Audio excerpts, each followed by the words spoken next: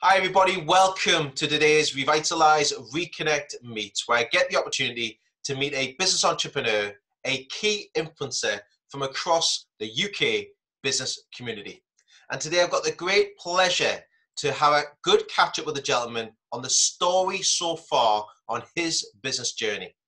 This gentleman has had previous roles as an operations manager, a recruitment consultant, a property developer, and of course, like I said earlier, an entrepreneur.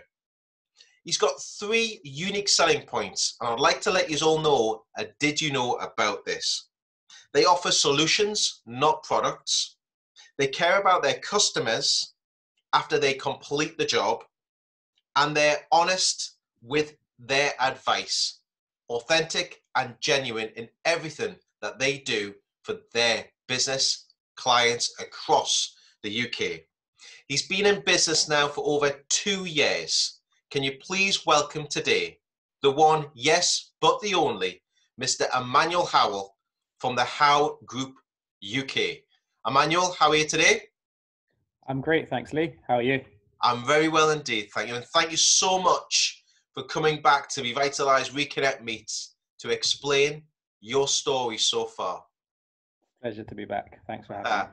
Super, Emanuel. Emanuel, could we all start by you sharing with everybody who's listening and watching today a bit about How Group UK? Yeah, thanks, Lee.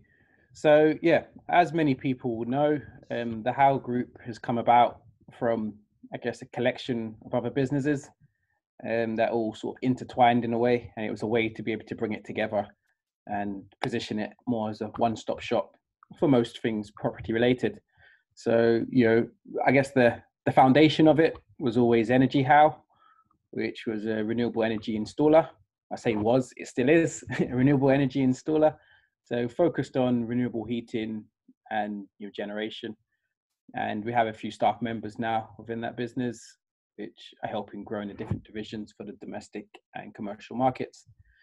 And then tying in with that, um, as many people may know, I've recently um, joined in partnership with Pillow Partners, and we're doing a lot of the property management um, across Lanarkshire, mainly for serviced accommodation. So we thought it tied in well to be able to do that. And then we have Cowman Property Services, which offers all the maintenance and repairs for those properties, but also we can roll that out for other landlords, um, property developers, and again, commercial buildings.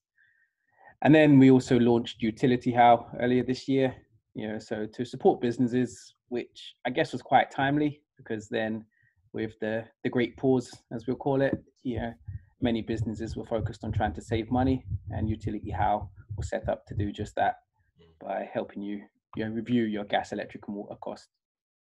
Definitely, I think it's wonderful you say the great pause. I love that. It's a lovely way of looking at it, actually, the great pause in business. Um, you've had some great successes. You've had some phenomenal achievements, especially the way you've just mentioned there. You've expanded the team, and we'll talk about that in a, a little while or so. But I wanted to touch on an achievement and successes that you've had in the last two years, and especially the way you've grown your business over the last two years. Would you mind sharing that success story of where you've gone from zero to? I'll let you share.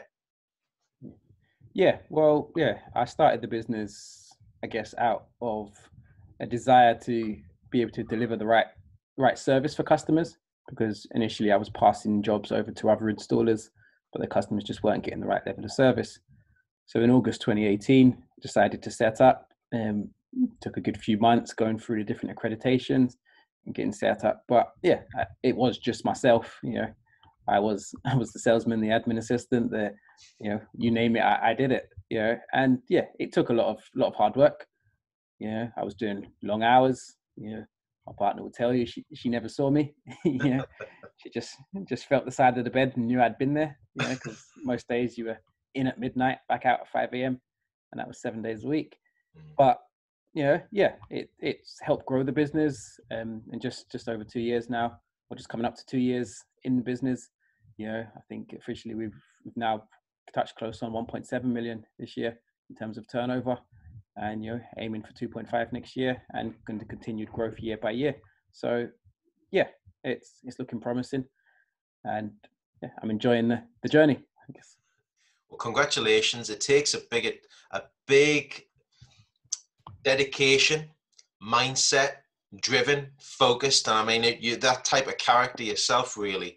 Um, I want to touch on briefly because you've had, you must have that motivation. What was your mindset? Would you mind sharing with everybody? Listen, I want to find a bit more about your mindset between those two years. What was your driver, you know, to do those sort of longer hours, but to hit that achievement? Um, I guess part of it came from so previous. I've had previous businesses, and I've seen that you know, yes, the hard work can pay off. Um, you know, my, my first business, you know, grew grew quite well, and then was affected by the the property market crash in 2008. You know, but yeah, it's it's that mindset knowing that I wanted to do more. Um, you know, had my partner, and um, now got a young son, and was planning a family. So it was just knowing that I had to put the work in while I could, to then be able to reap the benefits later on, and I guess grow grow a larger legacy. You know, so partly for the actual desire to want to to help people when it comes to your renewable energy and being more sustainable for our future, but also you know being able to build that business that can then sort of give back. Yeah, I think what you've done as well. You don't want me saying this. You've kept the momentum going.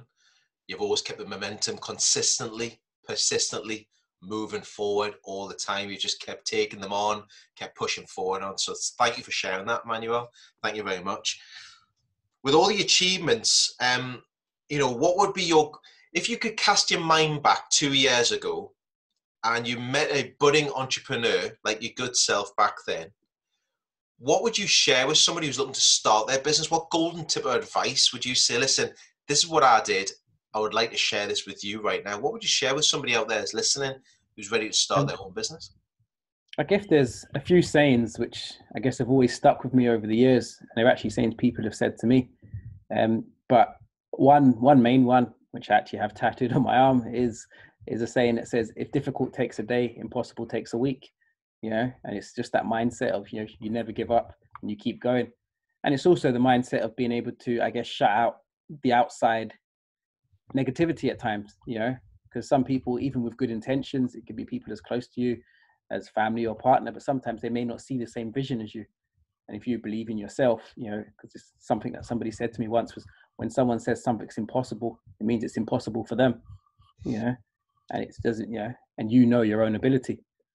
And it's also looking at the word impossible in a different light, you know, because if you split it up, it says I'm possible, you know, and you can actually really do that. So just believing in yourself, I think, but also setting your foundations, so making sure you set your processes and fully plan your journey. I think that's great that it's I'm possible and looking at it a different way um, everyone looks as a half glass empty type, you know, phrase. We hear that so much. Mm. Um, but I think you have to believe in yourself. You have to believe in what you're delivering, and you have to deliver that with purpose regularly. Um, some great content. Thank you for sharing that. I think many people will be using many of those as they move forward. Over the last 11 weeks, we've all gone into a different type of, as we say, a new normal completely. And many businesses have diversified their sort of delivery, their product, their service, um, how they conduct their business as we're, you know, we're now talking virtually online. How have you diversified your business for not just yourself, but also the team that you're bringing on board now? How has that changed for you? Well, I think I briefly touched on it in our intro, but you know, yes, widening the, the product offering or product and service offering, so we can support on a on a higher level, and mm. um, particularly for businesses. Um, I say been in business myself for, for well 15 years now in, in one way, shape, or form, and it's yeah understanding that there are going to be the struggles. So if we can really support from everything sort of energy related, that really helps. But also looking at the ongoing support thereafter. Yeah. So again, one of the I think the USPs, you know, of t- caring about people after you've done the job there's so many, as they'll call them, you know, one hit wonders where they will do the job, brilliant communication service until they get the money and then they forget about you. But it's understanding that a customer is actually your, your biggest form of advertising. Yeah. So you need to then, of course, look after them thereafter. Mm. So that, yeah, it's instilling that because when the general forms of advertising sort of disappeared over the past 11 weeks, in terms of actually being able to see people face to face as much. It's looking at what other ways you can do that and tapping into the people that you've got there. Yeah. And using that as a, I guess, a referral stream to grow the business. But you're also then taking yourself out of any sort of competition by doing that. Yeah, because you're not competing on anything such as price, etc. You offer a quality and you start to stand in a league of your own. Yeah. How do you, I mean, something you've just touched on there briefly as well, Emanuel, is that reviewing and suggestions and feedback, or we've talked about even off camera as well, just before we started today, is that do you have something in place now that you can actually gauge customer feedback and react upon that quite quickly? Well, yes. So yeah, yeah. Um, well, thanks to yourself, Lee, actually, because um, it's through through through your network and through Revitalize, I was actually able to meet Ian Shapiro of Promase, and yeah, that was one thing we sort of fell short on. As much as I always valued customer feedback and I always spoke to them, there was no way for new customers to really see, you know, the quality of work that we were doing and what we would and what how our customers felt about us. Yeah. So yeah, we've we've launched the Promase reputation management system, and now as jobs are starting to start to go back to normal, you know, you'll start to see more of that across our social media and on our websites. Absolutely superb. I mean, also visibility because you got the team going out and about there, and it was just you at the beginning. You yeah. know, so visibility is probably key as well. And I've noticed you've been advertising a lot.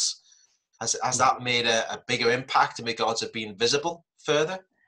Yeah, definitely. Yeah, I mean, yeah, I know. The other day, actually, I was I was in a local shop, and you know, somebody said they'd seen my advert on the TV, you know, because I had a branded T-shirt on, and it's yeah, it is it is good to know that it's getting out there, and you are becoming more visible. Because I just say, whereas before, I never even had a social media presence, let alone anything else. So.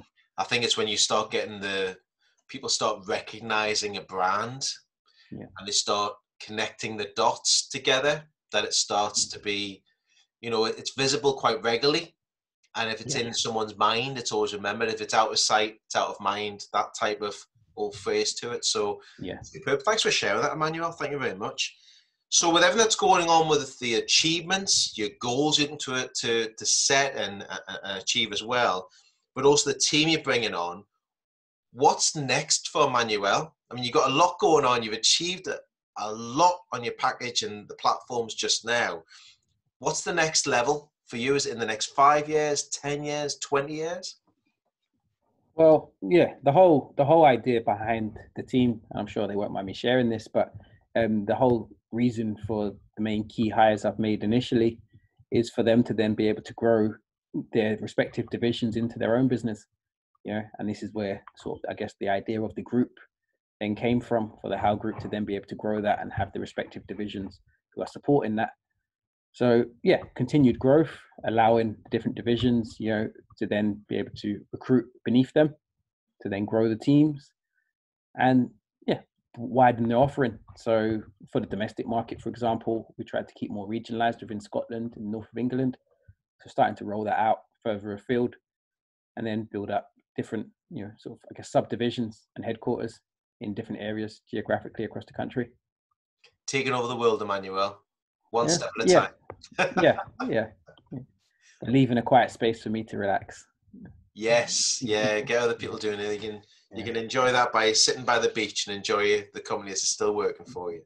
Yeah. Um, with everything we've all shared today on hearing and, and watching us today, how can anybody get in touch with you and the How Group UK team what's the best port of contact to make it with yourself, Emanuel?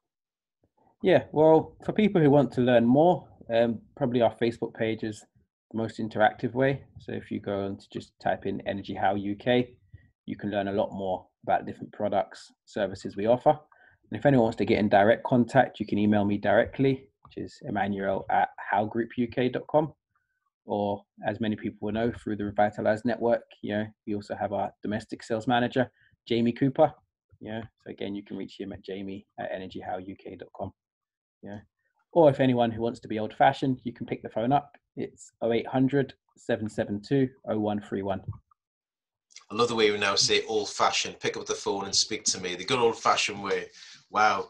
compared to what we used to do with now it's with Zoom and can we organize a Zoom call, you know, and that type of thing. So thank you very much. Well, Emanuel, thank you so much for speaking with me today and, and sharing your story so far. And, you know, it's been great to hear and actually see your journey sort of expanding and growing in real time as you've been part of the Revitalized Business Club. So thank you for being an integral part uh, as a member to everybody. And I look forward to supporting you further as we go forward into your expansion as well. Um, I hope you have a, a, wonderful rest of the day and thank you very much for your time today. Really appreciate it. Thank you, Lee. Thanks for the support. You're more than welcome. And I would highly recommend that if you have any questions and you've liked what you've heard today, reach out to Manuel, start the conversation, have that meeting, learn something about each other that you can help each other out, that business exchange. Thanks to Manuel. Thank you to you for listening and watching today. And I look forward to welcome everybody back to the next episode of Revitalize Reconnect Meets, where, of course, I get the opportunity to meet a business owner and business entrepreneur from across the UK business community. Thanks again. Keep safe, stay healthy, and we'll see you again very soon. Bye bye for now.